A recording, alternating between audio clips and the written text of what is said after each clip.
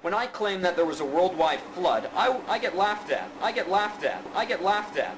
But this planet is covered three-fourths in water. If the planet flooded, like the Bible says, the Grand Canyon could have been formed in about five minutes. This is a geographical map of the United States. This is the Grand Canyon. The Grand Canyon is about 300 miles long.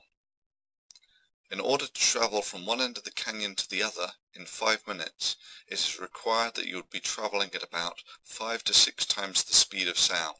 The Grand Canyon could have been formed in about five minutes. I get laughed at in about five minutes. I get laughed at. Scientists have been desperately trying to find water on other planets. However, the search is futile. Well, not really. There was the Mars Global Surveyor probe which has found evidence that water has been flowing on Mars within the last five years. Then of course there's the Mars Express probe which has taken pictures of water ice on Mars and revealed massive deposits of water ice under the Martian poles. Then there's the Cassini-Huygens probe that has taken pictures of water ice on Titan Three of the four large Jovian moons are composed mostly of water. It is likely that Europa has oceans under the frozen surface created by tidal heating from Jupiter, similarly with Ganymede and Callisto. Almost all the moons of Saturn, Uranus and Neptune are ice balls too, as are most of the comets. It's difficult to contrive that anyone could make a more uneducated statement on the status of water in the solar system than Scientists have been desperately trying to find water on other planets. However, the search is futile.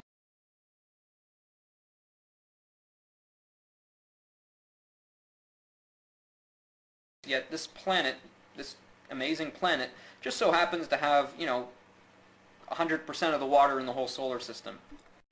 Well, let's ignore for the moment the water on Mars, the gas giants. Let's ignore the water on the moons of Jupiter, Saturn, Uranus and Neptune. Let's ignore all the Kuiper Belt objects such as Pluto, Sedna, and of course all the comets. Here's an interesting thing about water. Uh, where did it all come from? We can't find like a, a speck of H2O in outer space. Is there still no water in the universe? Bollocks. Water is the second most common molecule in the universe. The reason for this is simple. The elemental composition of the universe by atom percent is about 92% hydrogen, 8% helium, the third most common element in the universe is oxygen, and there's less than one atom per cent of it. Helium, of course, doesn't form any compounds, so the most common molecule in the universe is hydrogen, H2. The second most common molecule in the universe is H2O, water. I get laughed at there is a small zone around every star called the habitable zone, where liquid water is possible. Our Earth happens to be in a perfectly spherical orbit around our star. Perfectly spherical orbit around our star. The Earth's orbit is not a perfect sphere. It's not a sphere. It's not even a circle. The Earth's orbit around the Sun, like all planetary orbits, is elliptical. And this has been known for about 400 years. I get laughed at. However, if the Earth was a mere 5% closer to our Sun, we would cook like Venus. Now, if our Earth was a few percent away from our Sun... By a few percent, you fail to mention that this is 37%. This is about 50 billion meters, almost out as far as Mars.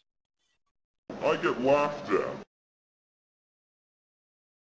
The Grand Canyon could have been formed in about five minutes. Yet this planet, this amazing planet, just so happens to have, you know, 100% of the water in the whole solar system. We can't find like a, a, speck of H2O in outer space. Our Earth happens to be in a perfectly spherical orbit around our star.